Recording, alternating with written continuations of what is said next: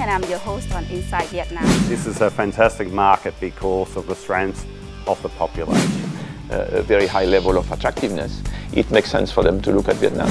Stabilised, there is an opportunity in Vietnam because it is emerging, an emerging market. You know, there's still a huge amount of foreign investment coming in here, still a huge amount of interest in Vietnam.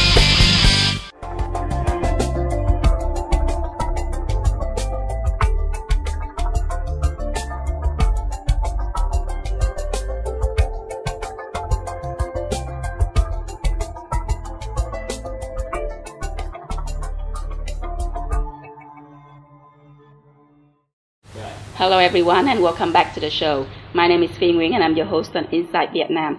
As we develop the show, we will start introducing panel discussion and hence a different setup that you see today. Now let's get back to the show. Vietnam has been the world's most impressive growth stories over the last two decades. The key driver, according to Vietnam Competitiveness Review 2010, has been improved labor productivity.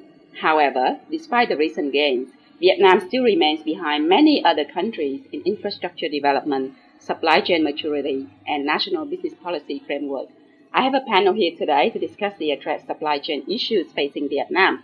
Let me introduce Mr. Eckhart Dutz, GD of Patrick Wood Vietnam and co-founder of the Vietnam Supply Chain Organization, and Mr. Inh Nguyen, Supply Chain Deputy Director of Hon Sin Vietnam.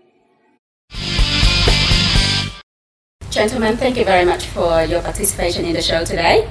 Sure. Um, probably the first question I would ask um, is something that is of um, media presence at the moment, um, the China alternative, um, and whether Vietnam should be one. What is your personal point of view on this?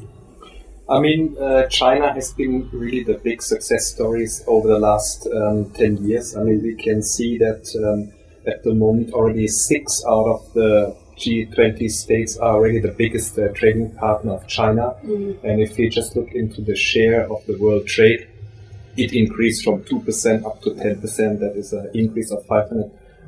And uh, in that context, we have to see the role of Vietnam. Mm-hmm. Uh, many um, companies um, follow a strategy which we can call China plus one. Mm-hmm. And obviously, Vietnam is always one which is considered to be very uh, prominent. I would certainly agree with that idea because I think um, we have quite um, a big advantage of our labor cost. Mm-hmm. Um, as in some areas, like um, back uh, the area which is uh, sharing the border with China, like Bac Ninh, for example, Mhm. where we have uh, quite a connection of uh, um, road transportation to some um, industrial areas, Mhm. and where we have quite um, a low cost of labor, Mhm. and um, this is certainly our advantage uh, for the time being. You mentioned labor cost as an Yeah. advantage of Vietnam.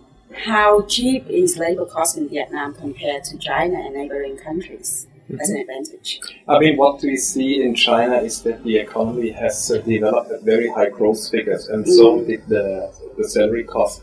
At the moment, we can see uh, the salary cost in, in China almost double as high as in Vietnam. Mm-hmm. And uh, obviously, next to that, we also have a labor shortage. That is why for Vietnam, there's an opportunity to benefit from that development. Mm. Uh, but to answer your your, your, your, question, um, Vietnam still has a labor cost advantage, and it's, it's about similar like um, countries like Indonesia. Mm. Uh, we are talking about a thousand to one thousand two hundred dollars per year Mm. per, per labor, whereas China is more than two thousand dollars already. Mm-hmm. What about Vietnam? Vietnam is uh, 1,200, uh, has uh, uh, also increasing or has increased uh, quite strongly over the last uh, few years. Um, but uh, the gap is opening up because uh, labor increases in China are even higher than Vietnam. Ing, you mentioned that the cheap labor cost that Vietnam has advantage on at the moment is just for the moment. What do you mean by that? Vietnam is still in the early stage of development, Mm-hmm. where we have clear advantage of labor cost, and of course we should take advantage of that. Um, and of course, along the way, we have to organize ourselves to to be more value added. But labor cost is certainly uh, not the only factor that was uh, that would probably influence the supply chain, um, especially for a country like Vietnam. There are other factors like productivity or wastage or efficiency of the logistics network. So if we add all of those together and have an all-in cost structure, is Vietnam still cheaper than China and other neighboring countries in Asia. Maybe to, to add on the, uh, the labor cost development, it is definitely impacted by the demographics of Vietnam, and that's mm. where we can already foresee for the next uh, 10 or 20 years that that uh, benefit eventually will decrease. If you look into the total um, picture, that's indeed important because we need to see the labor costs in relation to the productivity and uh, also uh, in terms of the capital. Uh, and that's where you see the difference between Vietnam and China. China has already um, a much larger capital base and as a result, obviously, can uh, um, have a more product, uh, productive uh, factory and, and, and, setups compared to Vietnam. So there's definitely a benefit uh, of China on that end. Mm. If you look into uh, in, into quality and um, uh, waste levels, I would see that uh, the situation is not so much different. Thirdly, on the logistic uh, uh, costs and transportation and all of that, I would see a benefit of China because they, they have uh, made major investments in infrastructure. So if you look into the, the transportation cost from China to the main markets in Europe and US, you would expect them to be a little bit lower than um, uh, Vietnam. So if you sum it all up, I think there is still a, a good opportunity for Vietnam to, to have lower cost, but uh, they are partly offset uh, through uh, less capital and, and, and, and, infrastructure, which is not as good as China. Mm. Is that what you say with your company operation as well? From the field where I am operating in, mm. new ports are being built and uh, ports are being upgraded to mm. a higher level of, of technology. Mm-hmm we are in the period of developing these facilities. Mm. Of course, there's a lot of problem, but we can see a positive trend of, of, of Vietnam uh, in this term. So you're saying that the 10% of GDP investment that the government has put into infrastructure has actually influenced um, the performance of supply chain in Vietnam in a positive way. I agree with that uh, comment and uh, where I op, uh, operating, um, and it impacts a lot on our operation. Uh, there's more bridges connect uh, provinces, mm. and uh, there are more inter-provincial inter-provincial connection between um, provinces mm. Uh, are being set up. So this shortens a lot of distance mm. in terms of transportation between province, province and province, and this helps a lot reducing the transportation cost. Mm. Well, that's a positive comment. Um, there's definitely a lot of good uh, plans, but what probably is missing is an integration of um, the different uh, investments across uh, um, uh, areas like um, the land use, mm. the seaports, um, the railway. All of these have to be integrated to really serve the supply chain. And if we just look into the uh, um, structure, decision structure of the government, we will see that these decisions are fragmented, and as a mm. result, we don't necessarily have that integrated master plan. I can see that as a challenge for Vietnam supply chain at the moment, but let's get into the nuts and bolts of supply mm. chain network in Vietnam and let's talk about each individual factor, yes. the challenges as well as how you would respond to those challenges um, as companies working here in Vietnam. Let's start with with my um, reading of the Provincial Competitiveness Index, and it says that 71% of companies report that their goods are being damaged by the poor quality of road in Vietnam, costing them about 43 million Vietnam dong per firm per annum. Mm. What is your impression towards this figure? My comment would be um, road infrastructure needs to be upgraded? Does it impact the overall profitability uh, and the situation of the company? I would say it has a very limited impact if you look into most sectors. But maybe Mr. Ian can share from his uh, experience. Um, yeah, I think the, the current road condition is um, is much better compared to that of 10 years ago for sure. Uh, a lot of projects um, are being developed uh, like the uh, North-South Highway, mm-hmm. uh, the 51 uh, highway that connect that connects Ho Chi Minh City and Vung Tau is being uh, developed, mm-hmm. um, and some other inter-provincial uh, road connections also are being developed. Mm-hmm. certainly, it, it impacts positively on our transportation, but of course, the demand is is such at a higher level. It, it needs to be quicker. What about the railway system? Does that help? Railway definitely a big potential, but it would require major investment to really upgrade that uh, to to a level that it, it serves a 2,000 kilometer link in a way that uh, maybe the transportation time could be cut back from maybe uh, 50 hours all the way down maybe to 20 or 24. But I would add some more points into your um, uh, comment, Eckhart, that um, currently um, myself, I don't see any project or plans from the government to connect the railway to the ports. Yes. The, the integration between railway and, and roadway, for example, Mm. or, or ports and railway, uh, railway roadway.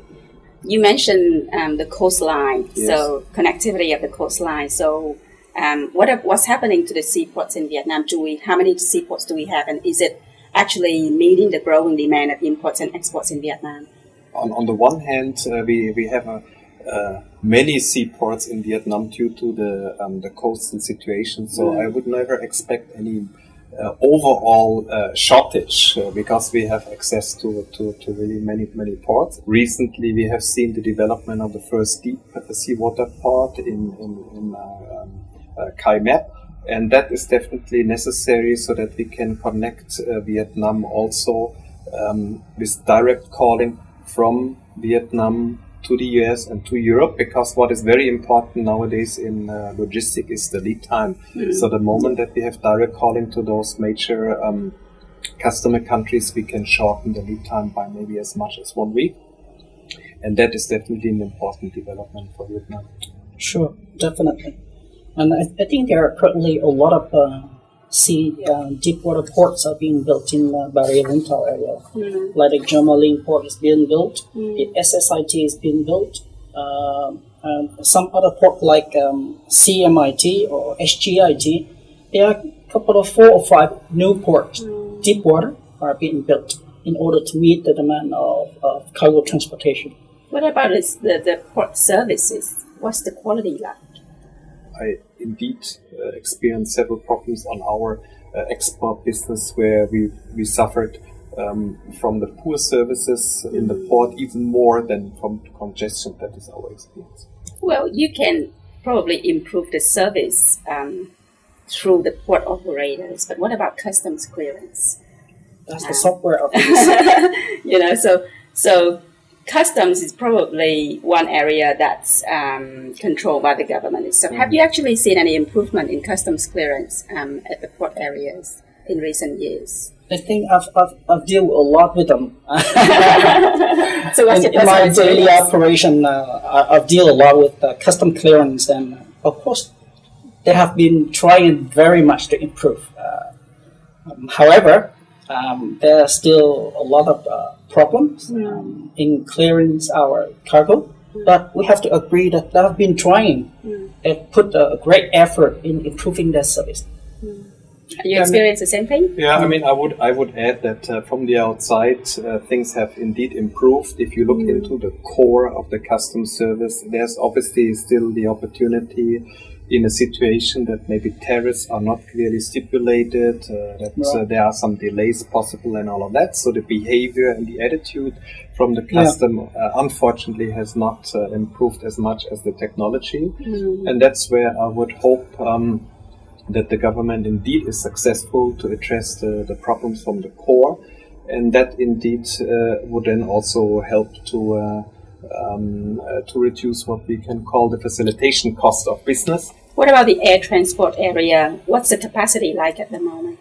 So if you look into the capacity, um, we see uh, um, upgrades on the major two airports, Hanoi and um, um, Ho Chi Minh City. But if we see then also the increase of uh, domestic transportation, tourism, inbound and outbound, the the deregulation of the sector, which sees many more operators and low cost carrier and all of that, we, we probably would need to uh, improve the infrastructure even even more.